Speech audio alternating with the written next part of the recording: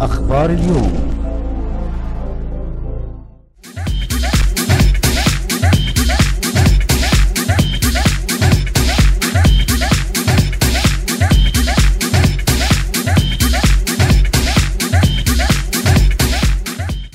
زي ما بكرر دايما عاجبني جدا الأداء بتاعهم وحماسهم وروحهم استعدادهم للتمرين والاستماع وتنفيذ ال...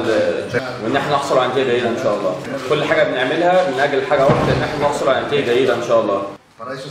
كان مركزين بشكل جيد نحضر الفرقة بشكل جيد. في ناس كتير طبعا حاطين آمال وتوقعات كبيرة للفريق. كل اللاعبين كل اللاعبين الموجودين اللي إحنا استدعيناهم كلهم متفهمين جدا آه، ال- الروح دي والحماس ده. حتى اللاعبين اللي مش موجودين معانا في المعسكر ده متفهمين جدا إحساس الناس والجماهير إن إحنا عايزين نحقق نتيجة إيجابية إن شاء الله. فكرتنا دايما إحنا عندنا طريق واضح أو خط واضح كلنا نمشي عليه. فكرتنا إحنا كلنا نمشي على نفس الخط ده. وده مش سهل. حتى إحنا بنحاول إحنا على قد ما نقدر إحنا نمشي كلنا في نفس الطريق اللاعبين وجهاز فني وإداريين. مجموعة اللعيبة الموجودين النهارده حتى اللي مش موجودين. في لعيبة كتير مصابة في لعيبة مش موجودين النهارده أو في لعيبة موجودين بي- بي- بيحلوا مكانهم. بس إحنا دايما يا جماعة بنعتمد على جميع اللاعبين الموجودين وإن إحنا دايما بنثق فيهم أكبر ثقة. إن إحنا نقدم أفضل ما عندنا ونثق في كل اللاعبين. حتى لو حتى لو في غياب لعيب مهم بالنسبة لبعض الناس بشكل عام بجد بقول لكم بكل سعادة. عندي مجموعة لعيبة رائعين مستعدين إن هم يكونوا أقوياء إن هم يقدموا أفضل ما عندهم ما يدخلوش بأي مجهود إن هم يسيبوا الأنانية على جنب يسيبوا المصالح الشخصيه أو الفردية حتى على على جنب.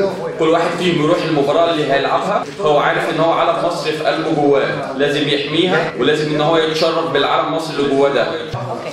نور إبراهيم من بوابه أخبار اليوم. في حوار كان منشور في جريدة الأخبار يمكن بتاريخ امبارح.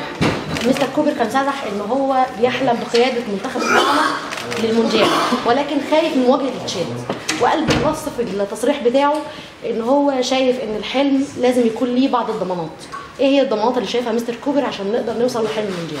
بنتكلم على كأس العالم بنتكلم على سنة 2018 المباراة القادمة اللي أنا لازم أنشغل بيها هي مباراة تشاد لازم نعدي أول خطوة اللي هي الأول أول خطوه تصفيات للمباراه القادمة اللي هي بتعتبر من 180 دقيقة مش 90 دقيقة. هنلعب الشوط الأول في تشاد الشوط الثاني في اسكندرية. تحليل يا جماعة كلنا حتى الجهاز الفني كله في اللاعبين بنبص على المباراة بالشكل ده. نحط كل طاقتنا الإيجابية. مش عايز أفكر في كأس العالم دلوقتي إحنا لسه في أول خطوة. الطريق لسه طويل قوي نقدر نحلل خطوة خطوه متفائلين كلنا طبعا. إحنا إن شاء الله طبعا أنا أول واحد متفائل في وسط الفرقة بتاعتي.